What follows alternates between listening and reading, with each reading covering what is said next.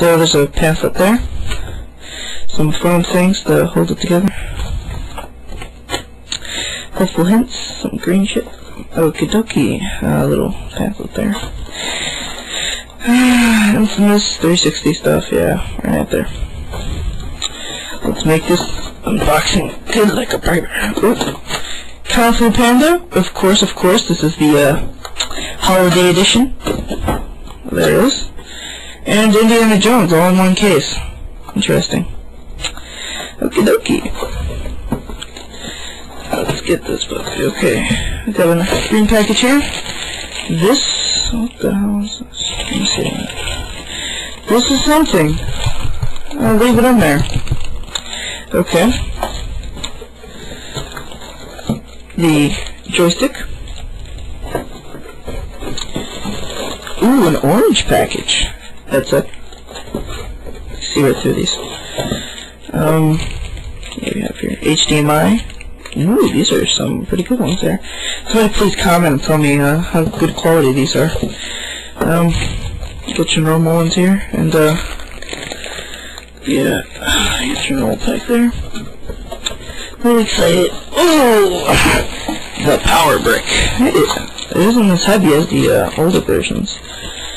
Wow, surprising, surprising, surprise, surprise. Um, this goes to the power brick. Oh, stuff's stacking up. Um, so, so I think this is a Ethernet cable. Yes, I'm correct. Okay, so uh, now let's get to opening the 360 so you can see that there.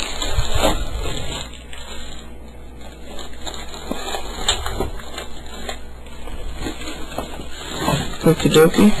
Oh snap, someone's kicking my keyboard. I don't think I want to hear that. Let's put this in.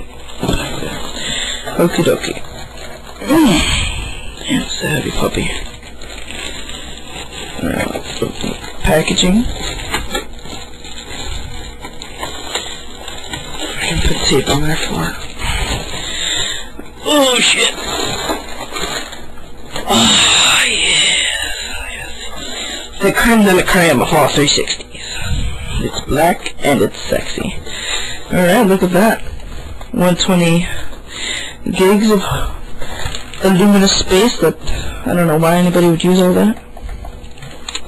You got the front here. You got your USBs, your memory, A and B, and uh, that's infrared.